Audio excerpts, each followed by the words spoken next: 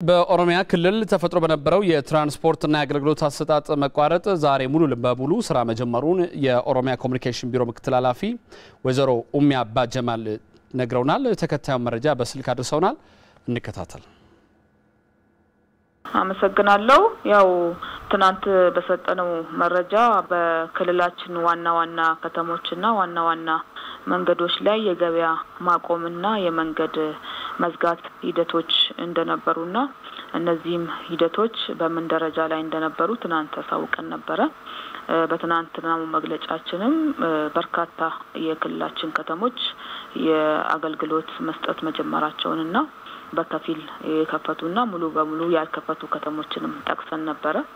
ዛሬ በሁሉም ዞኖችና ከተሞች ትናንትና በከፊል ተጀምረዋል ያልናቸውን እነ ወሊሶ፣ እነ ቡራዩ፣ ሆለታ፣ ሱሉልታ እና ሌሎችንም ጨምሮ ሙሉ በሙሉ አገልግሎት መስጠት ተጀምረዋል። መደብሮችም ተከፍተዋል። መንገዶችም ተከፍተው የትራንስፖርት አገልግሎቱ ተጀምረዋል ማለት እንችላለን። ትናንትና አምቦ ከተላለፈው መረጃ በተቃራኒው ችግር ነበር በሚል ተነስቶ ነበር። ትናንትም በአምቦ ከተማ አገልግሎቶች እንደተሰጡ ነው እኛ ባለን መረጃ መሰረት። ዛሬም ባለን መረጃ ሙሉ በሙሉ አገልግሎት እየተሰጠ እንደሆነ ነው የምናውቀው።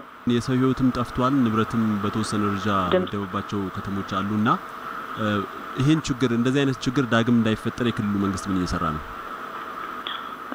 እውነት ነው። እንደዚህ አይነት ችግሮች ከተፈጠሩ ያው ማህበራዊና ኢኮኖሚያዊ ጉዳታቸው የከፋ ነው። እነዚህ ችግሮች እንዳይፈጠሩ እንግዲህ መንግስት ጥንቃቄ ማድረግ አለበት። ይህም ደግሞ የህዝቦችን የመሰረታዊ ጥያቄዎች በየጊዜው እየለዩ መልስ እንዲያገኙ ማድረግ ነው።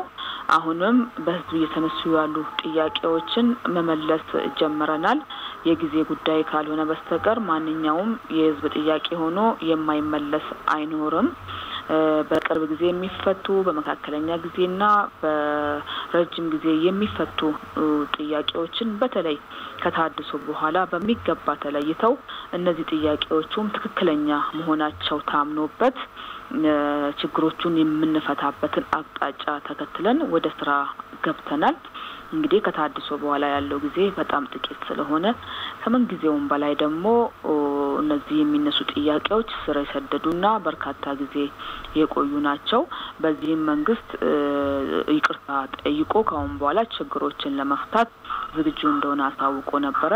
ስለዚህ ከታድሶ በኋላ በልዩ ሁኔታ ችግሮችን ለመፍታት ጥረት እያደረግን ነው።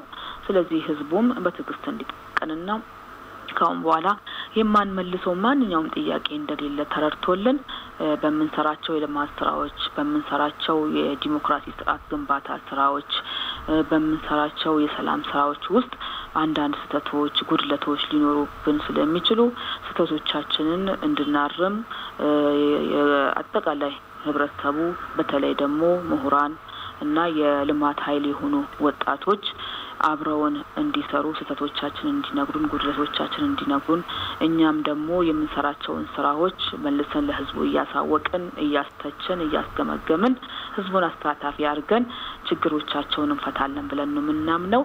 በዚህ ሁኔታ ከሄድን እንደዚህ አይነት ችግሮች ዳግም አይከሰቱም። የህዝብ ጥያቄ ሁሌም ትክክል ነው። ሁሌም ደግሞ መልስ ማግኘት አለበት። በሌላ በኩል ዛሬ በወልቂጤ ከተማ የተፈጠረ የጸጥታ ችግር እንዳለ መረጃዎች ይጠቁማሉ። በተፈጠረው ችግርም በሰውና በንብረት ላይ ጉዳት መድረሱንም በስልክ የደረሰን መረጃ ያመለክታል።